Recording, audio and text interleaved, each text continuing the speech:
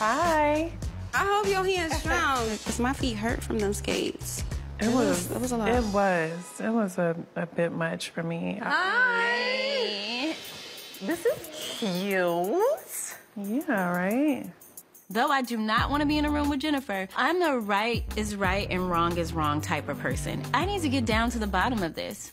I don't want to blame Jen for something that she has nothing to do with, but I do want to know what the hell is wrong with Jackie. How do you feel today? I'm all over the place with my emotions at this point. Um, I'm very clear on how I feel about Jackie. I feel like, as my friend, whether you heard something or not, you should keep it at me. You know what I'm saying? And like to go and spread it to all of the ladies, it's kind of like whack. But she was adamant that it came from you.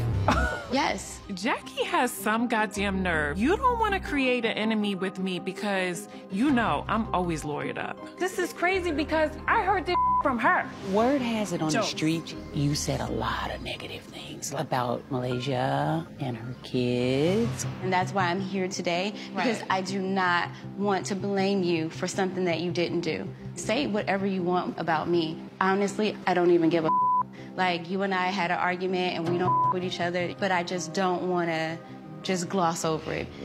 I'm looking in your eyes and I feel like you're not lying. So I really want to get down to the bottom of it. We need to call him. this guy and ask him the questions that we need to ask him.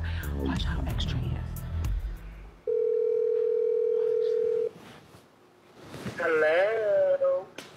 Hey, how are you? Hey, I'm fabulous, honey. What's going on? Make a long story short, I have Malaysia here next to me, and she has a couple of questions for you. Um, are you okay talking to her? Yeah, I can talk to my girl. It's all good, honey. Okay.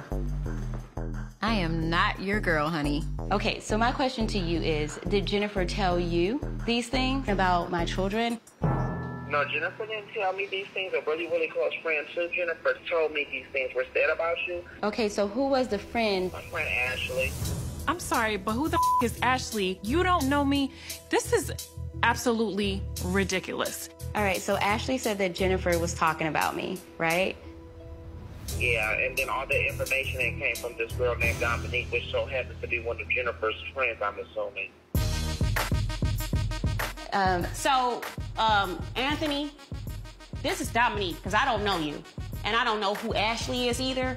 So I'm a little confused why you have a lot to say about me. I just met Malaysia. I don't know anything about Malaysia's life. And first you said I told Ashley, and then you saying Dominique told Ashley. So who told Who Ashley? told Ashley?